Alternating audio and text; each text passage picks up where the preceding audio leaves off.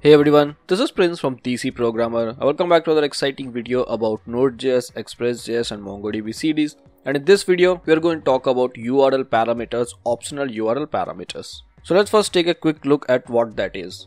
As of now, you can see that we have a route which is a contact route and it just sends simple string data that's a contact us page. So if I hit back to my command prompt, if I start my server, then in my browser, you can see that if I go to slash contact I get this simple contact us page. Now obviously I can design a, a, beautiful contact us page and I can render that right here. That's completely okay.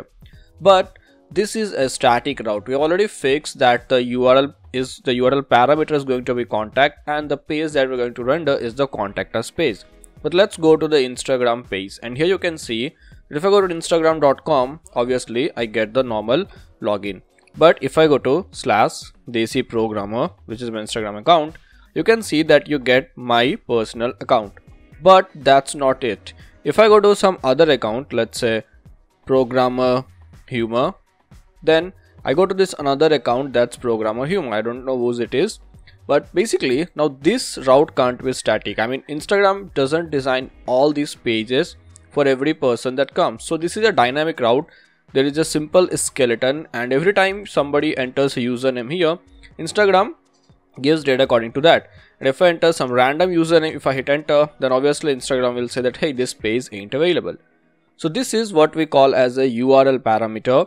And according to that different pages are rendered. And we may need to do that in our application too in our website too. So that's what we're going to talk about in this video. But before we move forward let's take a quick look at the difference between URL parameters and get parameter.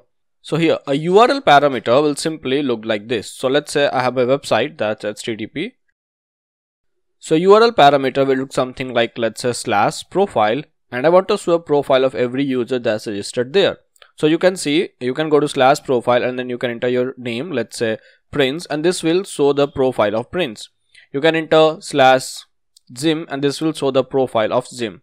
Now this is a simple URL parameter. You simply enter a single data and pages are rendered according to that. Get parameter or get query string they are different. So a get parameter is something like you go to profile of Zim and now you want to get posts. But instead of just simply saying post, you put additional query string parameter like uh, you want the limit of post to be 50 and let's say there's some other filtration. So query parameter is used when either you want to submit a form in get request or you want to query but there is further filtration pagination so here as I can, as you can see, we are saying we want post, but we want the limit to be 50 only. So here you can extract this limit part 2 and then you can enter only 50 posts. So this is what a get request parameter is, something that we're going to talk about in the next video. But in this video, we're going to talk about this URL parameter and how to help them using Express.js and Node.js. Now these two will be of two types. First one will be a definite parameter like that has to be there. The second one will be an optional parameter. So first of all to do that, all that we have to do is that we have to say app dot get. Let's say I want to show profile of user. So I'm saying slash profile. So this is fixed but here the username can be anything. To just make this one variable all that we have to do is to add a colon before the username. And now this username can be anything. And obviously we need the request we need the response. And now to grab this username which is coming from our parameter it's actually simple. We'll just say this const eh, this const username is equal to we have to go to request we have to get the params and then here we have to write the same thing that's available there. And now this username can be used to send data. So i will basically do console.log i will log this username. And not just that we will even send the data back. So i'm saying res.send and let's message from this particular user which is here in the username.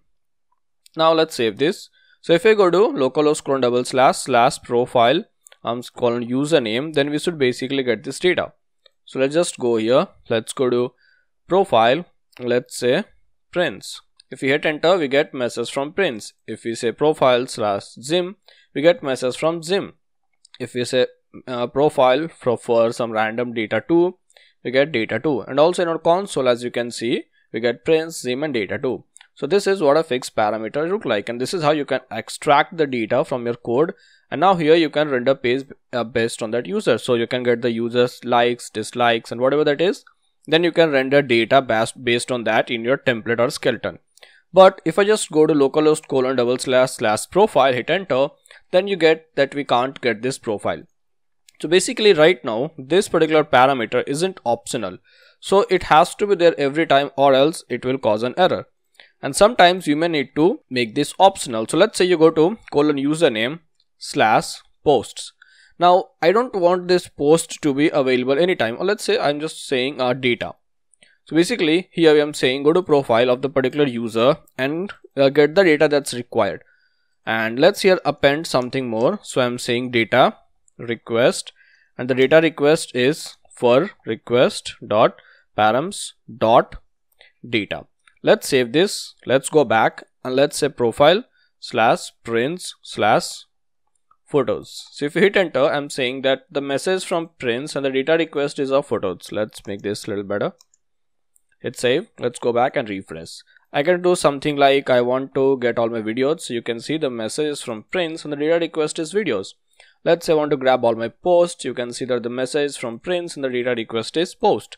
This is something that facebook does. If you go to Facebook and if you see something like Desi Programmer Official, Facebook will render my simple page. But let's say I want to know about this particular page. So I can do slash about. And here Facebook says, okay, render the about page of this particular page. And that's amazing. I can do something like slash posts and Facebook will render all the posts. So you can see. So that's something we are doing right here. But interesting thing is that this post right now is optional. So if I remove this if I hit enter even then you get the page although the data request is undefined. So this is what you can do. You can put something uh, mandatory and you can put something optional. So the mandatory part has always to be present. If it's not there you can show an error page like hey I need some data.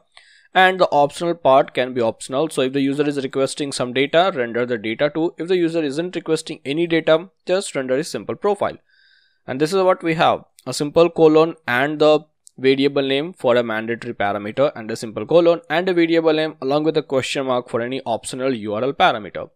So that's it from my side in this video about Express.js parameters and optional parameter. In the next video, we are going to explore more about get request and query strings.